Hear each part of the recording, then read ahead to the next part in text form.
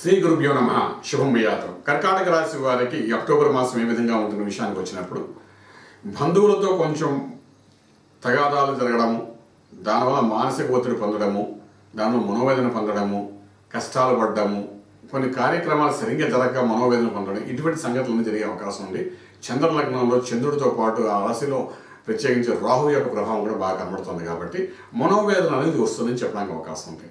ఏ పని తలపెట్టినా ఆ పనిలో ఏదో ఒక భాగంలో కొంత బలహీనపడడం దానివల్ల ఆ పని సంపూర్ణంగా అవ్వకుండా సగభాగంతోనే దాని యొక్క ఫలితాన్ని పొందడానికి అవకాశం ఉంటుంది. పూర్తి ఫలితం వచ్చే అవకాశం అయితే ఈ కర్కాటక రాశి వారికి పూర్తిగా కనిపించట్లే ఈ నెలలోని. తర్వాత కర్కాటక రాశిలో చదువుకున్న విద్యార్థులు కూడా రాహు యొక్క ప్రభావం వల్ల మందస్థితి అయ్యే అవకాశం ఉంది కాబట్టి ఇక్కడ పూర్తిగా గురు బలాన్ని పెంచుకోవడానికి చేయవలసిన కార్యక్రమంలో భాగంగా గురు మంత్ర సాధన చేసుకోవడం చాలా అవసరం పడుతుందని చెప్పగలుగుతాం. Education institute tutorials coaching centres run చేసే వాళ్ళ ప్రిన్సిపల్స్ కానీ డీన్ అనుకోండి చైర్పర్సన్ ఉన్న వాళ్ళకి కూడా కొంతవరకు నష్టాన్ని చూసే అవకాశం ఉంది.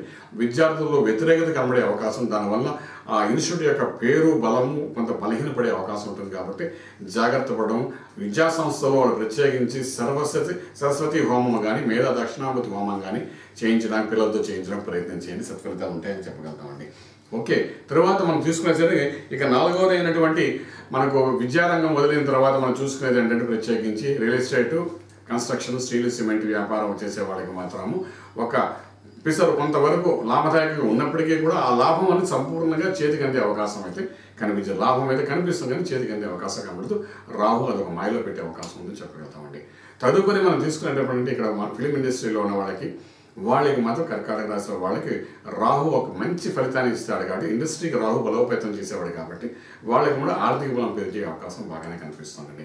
అయితే ఇక్కడ ప్రత్యేకంగా ఈ రాశి వారికి దోషంగా ఉన్న వాళ్ళు ఎవరైతే ఉన్నారో అది ఆశ్లేష నక్షత్రం తీసుకోండి పుష్యమి నక్షత్రం వాళ్ళు తీసుకోండి అలా విధంగా పునర్వస నక్షత్రం వాళ్ళు తీసుకోండి. వీళ్ళు ఎవరైతే దోషంగా ఉన్నారో ఈ నక్షత్రం వాళ్ళు గురు మంత్ర సాధన చేసుకునే ప్రయత్నం ముందు చేయడానికి ప్రయత్నం చేయగలిగితే సత్ఫలాలు ఉండే అవకాశం ఉంది. రాజమార్గంలో రాజ్యంగా పొందగలుగుతారు శుభం బియాలు